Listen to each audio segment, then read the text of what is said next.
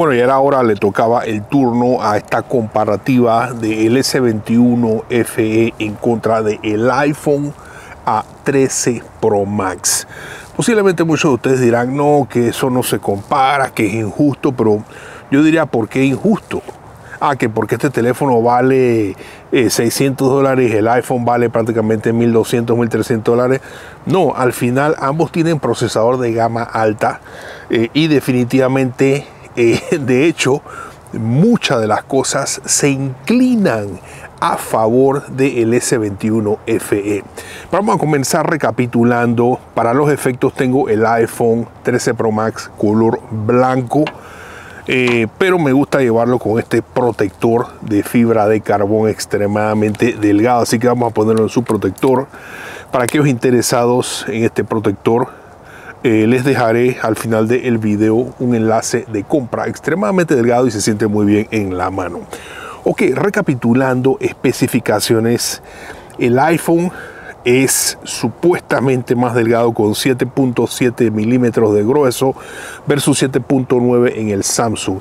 El iPhone es mucho más pesado, 8.47 onzas versus 6.24 onzas. Definitivamente que el plástico en el Samsung lo hace mucho más uh, liviano y también me gusta cómo se siente en la parte de atrás. El iPhone no está mal, pero definitivamente se siente un teléfono más pesado, sobre todo con el sensor más grande de la cámara. Ok, por otro lado, a nivel eh, de lo que son pantallas, el iPhone tiene Super Retina XDR OLED 120 Hz y soporta HDR Plus, mientras que el Samsung tiene Dynamic AMOLED, soporta 120 Hz de refresco y HDR Plus. El eh, iPhone es de 6.67 pulgadas con resolución de 2K versus el eh, Samsung es 6.4 pulgadas con resolución de 1080. Ambos son a prueba de agua, sin embargo el iPhone puede estar más tiempo bajo el agua y más profundo que el Samsung. Ninguno de los dos ofrece acceso a tarjeta SD sistema operativo, el iPhone este que tengo yo ya tiene eh, iOS 15.4 o algo por ahí, así que eh, todo, todo, el tiempo Apple está sacando más actualizaciones. Y una, una de las cosas que varios de ustedes han comentado, definitivamente no solo Android se demora en sacar actualizaciones en comparación con Apple o iOS, pero Samsung también no tiene fama de ser bueno sacando actualizaciones rápidas, así que tener eso presente. Eh, pero pues el iPhone tiene el Apple A15 Bionic, su procesador, mientras que este Samsung tiene el Snapdragon 888, muy comparables en términos de desempeño.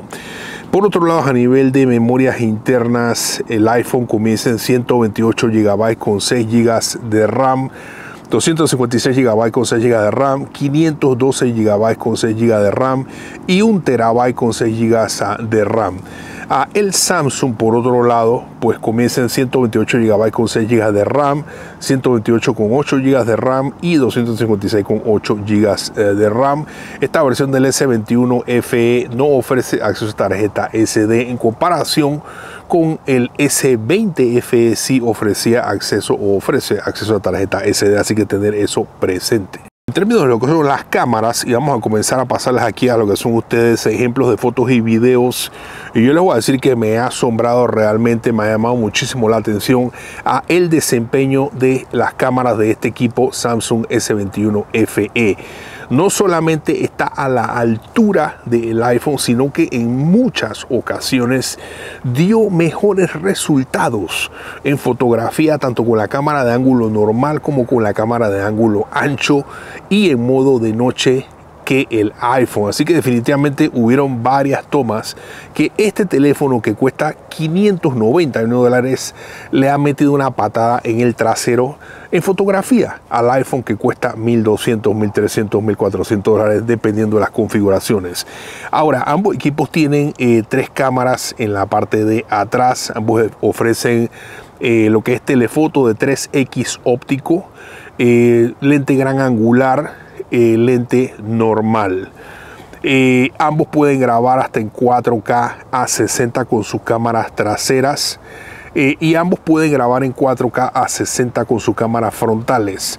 Eh, lamentablemente el Samsung no ofrece estabilización eh, con lo que es eh, su cámara frontal en resoluciones de 4K 30 o 4K a 60. Así que ahí se queda corto. Pero si eso no te molesta, pues en términos de resolución del video está a la par ah, de lo que ofrece las resoluciones del iPhone. Eh, a nivel de fotografía, pues ah, lo que es ah, el Samsung eh, te ofrece 12 eh, megapíxeles trasero, el iPhone también 12 megapíxeles trasero. Eh, y eh, como dije anteriormente, eh, en términos de cámara frontal, eso sí, el Samsung te ofrece 32 ah, megapíxeles delantero versus el iPhone que te ofrece 12. Así que en teoría el detalle o la resolución de las fotos del Samsung debería supuestamente ser mejor que lo que es ah, el iPhone. Ok, ambos ofrecen bocinas en estéreo. Hablando del tema de lo que es seguridad, el iPhone pues tiene lo que es el Face ID. Yo lo he dicho ya varias veces, no soy fanático del Face ID, no me gusta. Si fuera por mí, preferiría una huella en la pantalla o inclusive hasta el Touch ID que venía en los iPhone anteriores. Este Samsung te ofrece huella en la pantalla. La huella funciona bastante, bastante bien y pues definitivamente eso es una ventaja en contra del Face ID del iPhone. Ahora, a nivel de lo que es eh, batería, el iPhone tiene 4.352 amperios versus 4.500 en el Samsung.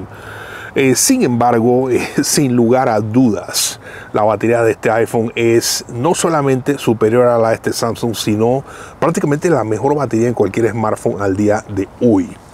Eh, la batería de este Samsung yo diría que está razonable.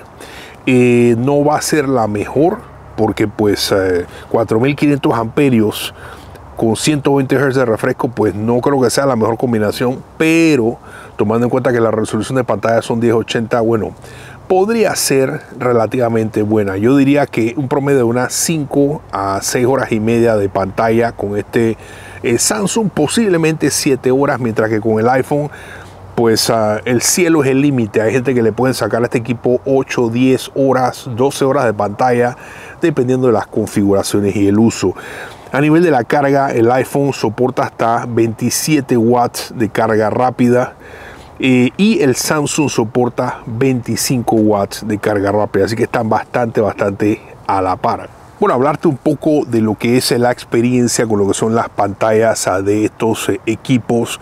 Como ustedes ven, nosotros estamos sentados afuera, hemos probado las pantallas en exteriores, el brillo. En números, el brillo del iPhone es eh, superior eh, puede subir hasta 1200 nits de brillo. a el de el Samsung no está nada, nada mal.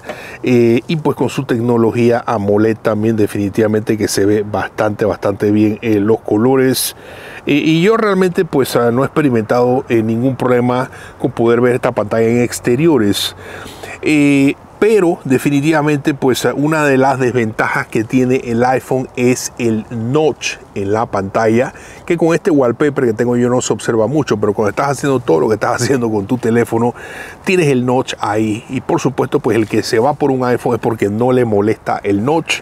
Eh, pero si tú eres una persona como quien dice que estás no estás de repente vas a agarrar un iPhone por primera vez pero estás considerando también este Samsung pues definitivamente a nivel de eh, relación de cuerpo por pantalla, el orificio pequeño en el Samsung pues te va a dar mucho mejor experiencia con todo lo que hagas eh, versus ah, el notch en el iPhone. ¿Cómo se compara estos equipos eh, a nivel de precio? Pues fíjate, lo más barato que yo he encontrado este iPhone a 13 Pro Max al día de hoy ha sido un promedio de unos a 1099 dólares a versión de 128 eh, gigabytes, lo cual definitivamente es un regalo. Eh, voy a tratar de dejarles ustedes un link de compra por el que está interesado, eh, pero usualmente estos iPhones están corriendo un promedio entre 1200, 1300 dólares, a pesar de que es un equipo que ya salió hace unos 3, 4 meses atrás. A este Samsung pues lo puedes encontrar por 590 dólares después de la oferta que lugares de venta te regalan 100 dólares para atrás. Eh, lo curioso de esta comparativa es que como ustedes se han dado cuenta a nivel de fotografía y video, estos equipos están extremadamente a la par. Y como lo dije anteriormente, de hecho tengo que reconocer que en varias fotografías eh, el Samsung le pateó el trasero al iPhone.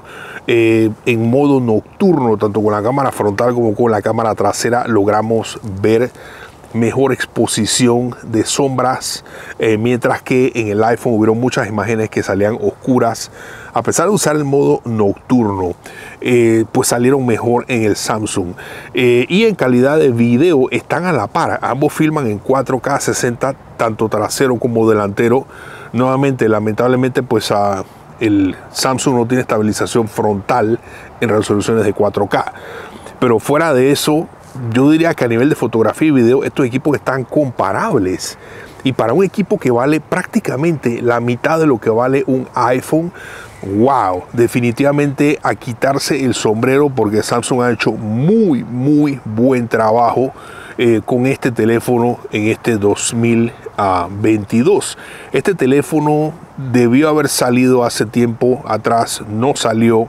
Y mis conclusiones finales son de que definitivamente eh, si lo que buscas es calidad de fotografía y video, eh, no necesitas irte por un iPhone como este. Definitivamente este equipo da la talla en fotografía y video. Eh, y pues ah, si quieres grabar en resoluciones altas y no tienes estabilización con la cámara frontal, voltea el teléfono y usa la cámara trasera. De lo contrario, 1080 a 60, 1080 a 30 si tiene estabilización. Eh, no sé qué más te puedo decir a nivel de calidad física definitivamente pues el iPhone se siente un teléfono mucho más premium eh, pero pues a gente que al final no les importa eso eh, mis conclusiones finales es que estoy muy muy impresionado de todo lo que está ofreciendo este equipo S21 FE y cómo se compara muy muy a la par con un equipo que vale el doble de su precio. Así que amigos, ahí lo tienes, lo que eran mis comentarios, mis revisados. Espero que te haya gustado el video, de hacer los like, compártelo, sígueme por Instagram para que seas mi amigo, me hagas preguntas y nos vamos a estar ahí con más. Y si tienes uno de estos dos, te felicito. Chao, chao.